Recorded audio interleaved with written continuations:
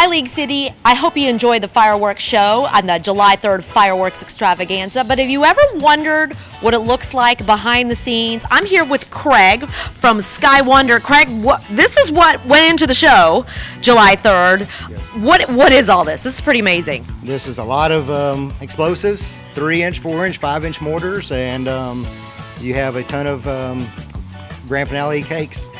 And we also have eight 100 shot cake boxes that'll also be going up tonight as well.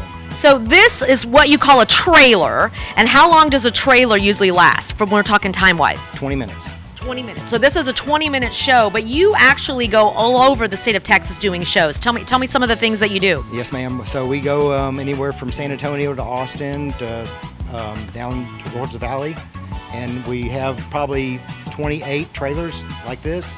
And we also have budget trucks that we haul the pods around to different shows and put them on barges and so on and so forth.